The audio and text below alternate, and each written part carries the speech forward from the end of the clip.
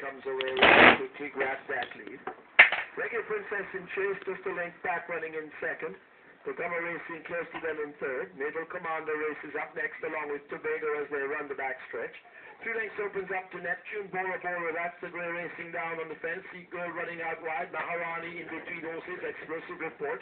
Western Genius is running on the extreme outside of horses, Mingli making some progress. Guan Yu and Seat Girl now race together as Seat Girl begins to fade through the field. Ellie's Dancer is there, then by Secrecy, and Savaliant coming to a walk a long way at the back of the field. We're at the 716th and moving toward the 3. Big Bargain harassed all the while by a Reggae Princess.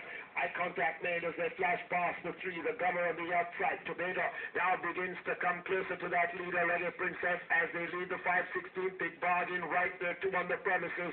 River Commander has made progress, but it's a Reggae Princess. She's asked to kick again at the top of the lane, and she's actually scraping big. Tobago let loose on her outside. Behind her, so that's the gunner. Naval Commander now asked to move through horses in the white suits. Bora Bora, an explosive report outside of these widest of all here's Maharani, but it's a reggae princess. She's tying up a bit, but battling Tobago for the lead. Tobago drawing alongside reggae princess. She's wiping out here's Maharani flying late. It's close.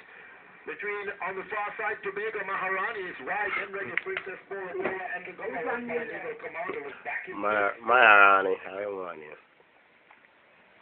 So seven and thirty-six to one. Seven, five, ten, you're at